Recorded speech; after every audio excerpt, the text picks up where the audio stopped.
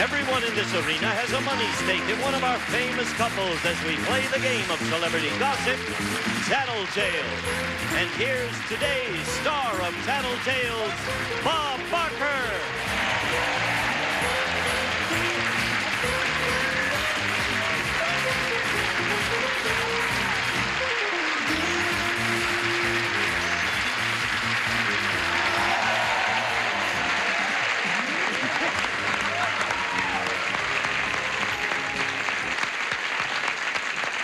Were watching yesterday, you saw Bert host his own show, but it's MC Week here. I'm doing this show, and we'll have guests doing tomorrow's show and the show after that. Then Bert will be back with you as your host. Of course, he's with us today. And look who else is with us today. Here, winning money for the blue section, we have Bert Convy and his lovely wife, Anne. Thank you. Come on, move. Lady Bob. And playing for the banana section, we have none other than the star of Family Feud, formerly the star of Lucky Pair, Oh, yeah. Richard oh. Dawson, oh, and his right. lady Jody. Lucky pair. I remember that. And red section over there, playing for you, we have a guy who's been around fooling them as long as I have. Jack Narz, star of Concentration, and his wife, Doe. We'll do it. More like it. Now, gentlemen, you have spent a lifetime asking questions. You're about to answer some. Ladies, you can hear me? Yes. All right, here's the first question. I get so many kisses from happy winners on The Price is Right that if I didn't come home from work with lipstick on my collar, my wife wouldn't believe I'd been at work. If your guy shows up after work with lipstick on his collar, do you ask him about it or ignore it? All right, girls, we'll say goodbye to you for the moment. And gentlemen, this is for $150. I will begin with the old master himself, Yeah, who's Bert getting older? I'm getting older faster, too. How do you answer that question, Bert? Um, two quick stories come to mind. I'll tell one of them uh, the other, uh, oh, a while ago I came home and I had uh, perfume. She, she gave me a kiss. Hi, honey. What's that? Panic. I said, uh, uh, what's what? What is that uh, perfume? What is that? I said, "I don't know, and I didn't know. And I went like that. I said, gee, it's very familiar. She said, I'm sure it is. I said, I, I don't know, honey, I don't know. Well, what do you wear? I said, Anne, what do you wear? We go, it was hers. Ah. Um, uh, she doesn't really say anything about it. Uh, I don't remember coming home with it. I have a, I carry a couple of spare shirts around with me so that I don't have that problem. Uh, I'm using is- his dressing room, and he's not kidding. He has shirts all over. So the question is, what, what would she say if I came home with lipstick? Yes, would she ignore it, Oh. or would she ask you about it? No, she would not ignore it. She would not. No. She'd ask you about it. She would it. ask me about it. All right. Bert says that she would ask him about it. Let's uh, have Anne with us again, please. Anne? Yes. Yes. Anne, you heard the question. Let me repeat just the last part of it, please. All right. If your guy shows up after work with lipstick on his collar, do you ask him about it or do you ignore it? Would I ask him? As soon as he came to, yes, I would ask him. You. Not kidding, got a mean left. I understand that he came home with uh, perfume on just the other day. And He you did? discovered. Don't you remember when I you... missed that one. No, don't you remember once when I, when I, I, you said, you gave me a kiss and you said, what is that? What, what's that? And I said, I, I don't know. And, and I finally figured out it was yours. It was your perfume, don't you remember? And I Oh, took you're- in there. You're giving me interesting information. huh? yes. She does, she I has have an memory. interesting uh, bit of information for you, too. He carries some of your perfume in the glove compartment of his car. The man is always prepared. All right. Now, you, you two uh, have uh, answered correctly. Yes, you have agreed in your answer, and on to Richard Dawson. Richard, how will Jody answer? Will she say that she would ask you about the uh, lipstick, or would she ignore it? Uh, this is sort of a question like one guy says, How long have you been wearing a girdle? And he said, Ever since my wife found it in the glove compartment of my car. Uh, I must tell you, Jody comes to work all the time, every time I, so she knows that I love to kiss those ladies. I think she would ignore it. She would just ignore it. Unless it was the color, of course, that Bert wears. Mm. well, I'll say she'll ignore it, Bob. Very well. Let's have Jody join our little party, please. Jody, the last part of the question, if you recall, was if your guy shows up after work with lipstick on his collar, do you ask him about it or do you ignore it? Well, if you've watched Family Feud and Match Game, you'll see that Richard kisses everybody, and this carries over into his re- into his real life also. So I would not think twice about it and would not ask him. You would, you would ignore it. Yes, I She ignore would ignore it.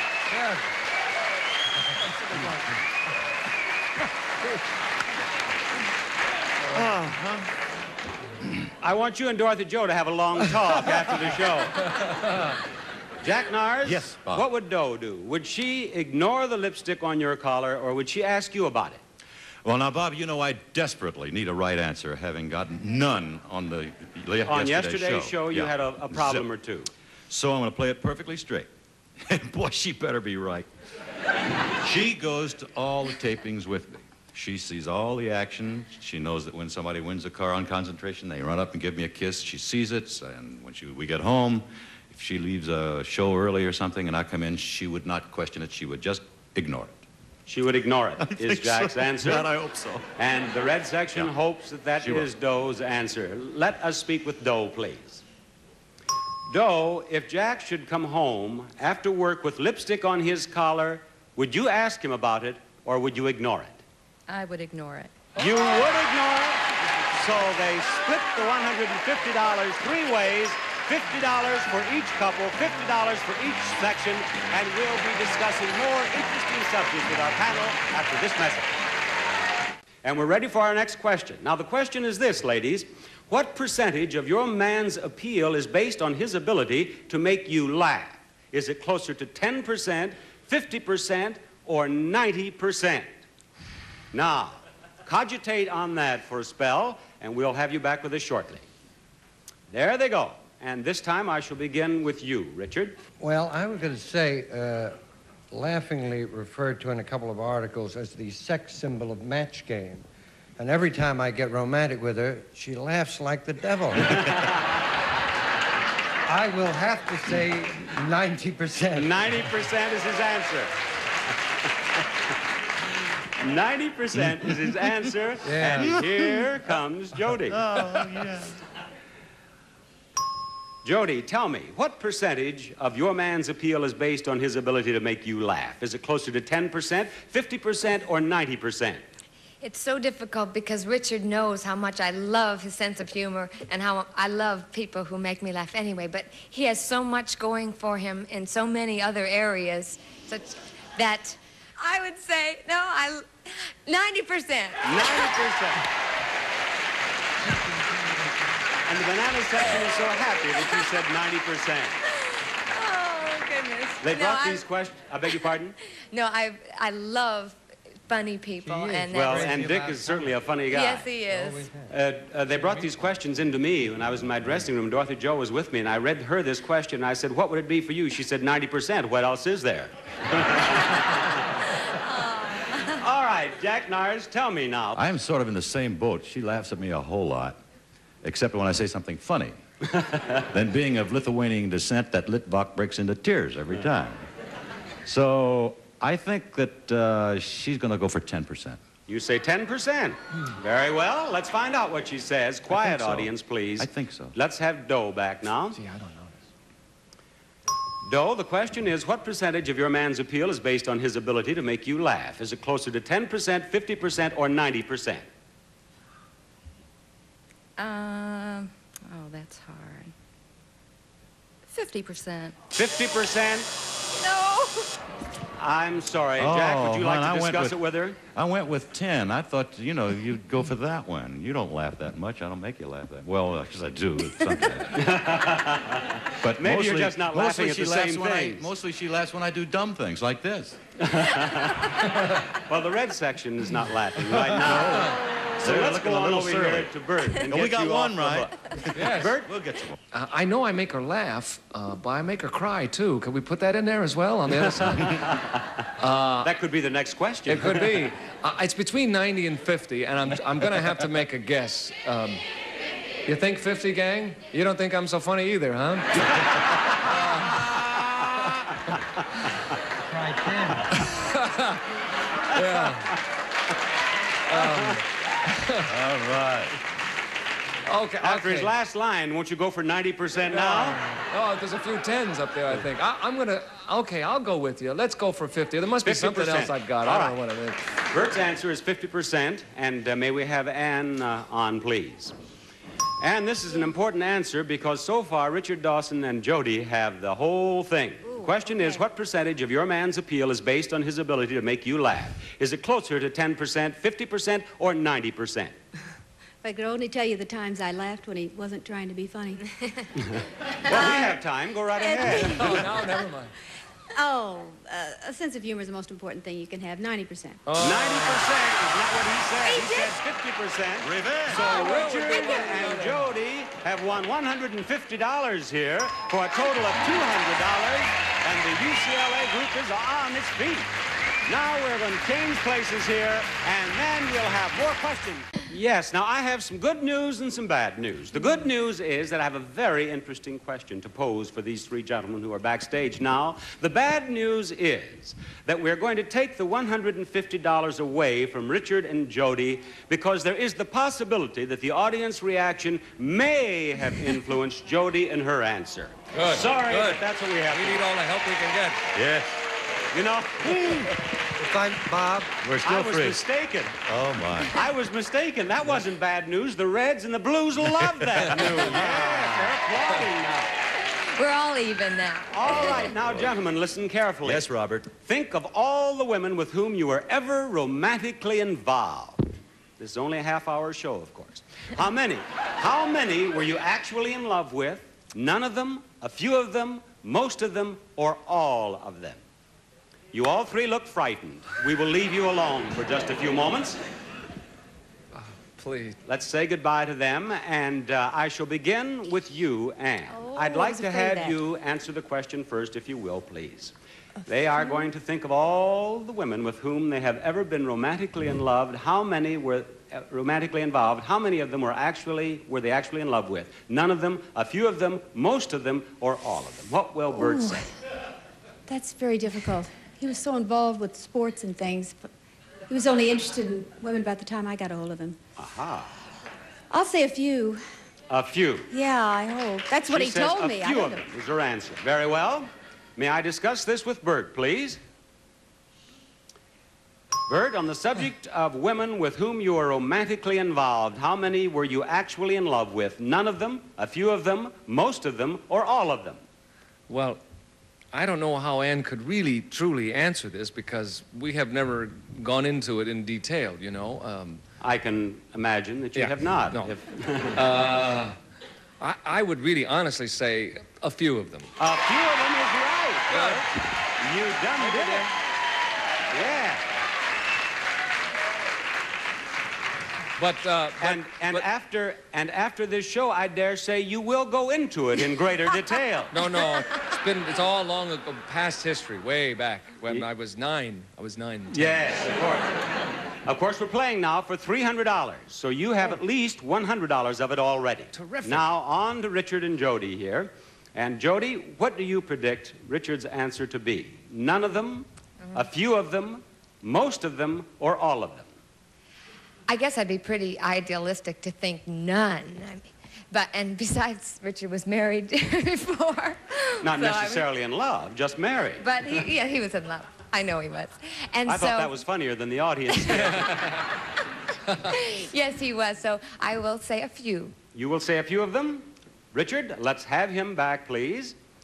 Richard, the question was about the women with whom you were romantically involved. How many were you actually in love with? None of them, a few of them, most of them, or all of them? what sort of car is it again? Johnny, what kind of car was it? It was a Vega. Oh, Vega. I'll bet eighteen thousand dollars. now, uh, if you please give me the options. yes, I will. The Yeah. options are none of them, a few of them, most of them, or all of them. There are only two ladies I love, my first wife and Jody, so I'll say a few. A few of them is what Jody said. A few of them is what Jody said, and so now you and Bert are sharing $300. Uh, Dick, haven't I seen you on the Liars Club recently? Yes, you have. yes. But we are moving on down to Doe. Doe, what do you predict Jack's answer to be? None of them, a few of them, most of them, or all of them? I'm going to ask them this time because my batting average is zilch. 90%. A few, a few. She says a few of them because a few of you said a few of them. Now, let me discuss it with Jack, please. Jack? Yes, Bob. You know the subject. Uh, could How I many hear- were you actually in love Could with? you give me the whole thing again? Yes, I will. Think of all the women with whom you were ever romantically involved. How many were you actually in love with? None of them, a few of them, most of them, or all of them? Well, you know, one of them is Doe right now. I'd like to take the fifth. Either the amendment, vodka, scotch, I don't care. Any kind of fifth. Um, only one, only Doe. Well, now the options are none of them, a few of them, most of them, or all of them. No help, audience. Hmm. Gosh, that's a funny. None of them, a few of them, most of them, or all of them. All of them. All of them. So Ann and What's the Bert, difference, Jody and Richard share the $300. they each have $200 now. I'm in trouble no we matter have what. another question coming up after we have this message. Still anybody's game because this question is worth $300. Ann and Bert have 200, Jody and Richard have 200, and Doe and Jack have 50. And I'm going to begin with Doe and Jack when we uh, asked uh, Jack for his answer. The question, gentlemen, is in the course of the last month, which of the two of you complained more about anything, you or your gal? Now, you think that over for a moment. Let's say goodbye to them. And Doe, will you please give me your prediction as to Jack's answer? Which one of the two of you complained more about anything, you or your gal? Jack has complained Jack has complained Yeah. more than you have. about his golf game, about the refrigerator going kabuts, and the washer, dryer, the dishwasher. Oh, everything's happened. He's Not winning any more. money on tattletales. Not winning any money on tattletales. Okay, let's have Jack He's with us, please. the most. Jack, Yes, the question Bob. is in the mm. course of the last month, which of the two of you complained more about anything, you or your gal? Well, we've had a disastrous month, I might say, in not too serious a way, but I guess that I probably. You, Jack, have $300 for the moment. You have answered correctly. But Oh, what a now month. on here to Ann and Bert. Ann, what will Bert's answer be to the question in the course of the last month, which of the two of you complained more about anything, you or your gal? Oh, this is so easy. Bert's always in a good mood. It's so depressing. I complain. You all complain more? Yeah. All He's right. always happy. Her answer is that she complains the most. Now, let's find out what Bert has to say, please. Bert, in the course of the last Oh. month, which of the two of you complained more about anything, you or your gal? It's not easy because uh, there have been things to complain about on both of our parts. On a lot of our parts, in fact. Um, uh, which, which of the two of us? Which of the two of you Complain complain more. more about anything, you or your gal? Well, I have something in mind, and I don't know if Ann told you about it, uh, and I'm not going to go into it, but I'm going to say it's me. No, you are gallant, but you are wrong. She said that she had complained more. Really? Yes, what was it about, did. Ann? Bert. What was it, honey? I'm always complaining. You're always cheerful. Yeah, but did you forget my Punch him in the mouth. He's so cheerful. oh. You may have a new injury Ann, after Ann, today. wait a minute. Did you forget my, my, my injury? oh, I'm talking about in general over Oh, the years. She's talking about things that are really important, not your injuries. now I Bert. really have something to complain about. Let's find out what Jody has Complain to about say. my injury In the course of the last month, which of the two of you complained more about anything, you or your gal, is the question. Jody, what will he say? Okay, I have to say that I don't believe Richard complains at all. He's not a complainer, and I don't really think I am, but I, he has said that I, I do complain. So he's probably going to say I am the He one. is going to say that you, Jody, complain more. Mm-hmm. All right, let's have Richard, and he will speak his piece. Richard, in the course of the last month, which of the two of you complained more about anything, you or your gal? This is sh- really just a guess. I'll say me. You will say you, and that is wrong. And Jack and Doe win $300, which gives them $350. And they have come back. One of Tattletale's great comebacks to win the game for the red section. And we will be back after we have a look at this. Well, these blinking lights tell the story. Doe and Jack came through $350. And of course, to that, you add $1,000. So their total will be $1,350. How about that, red section?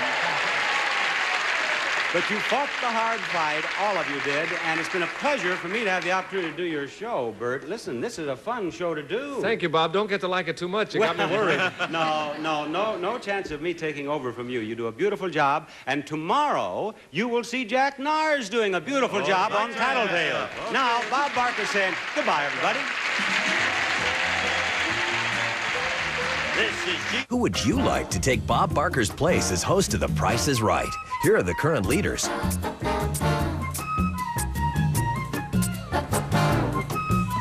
Log on to gsn.com and voice your choice for Bob's job.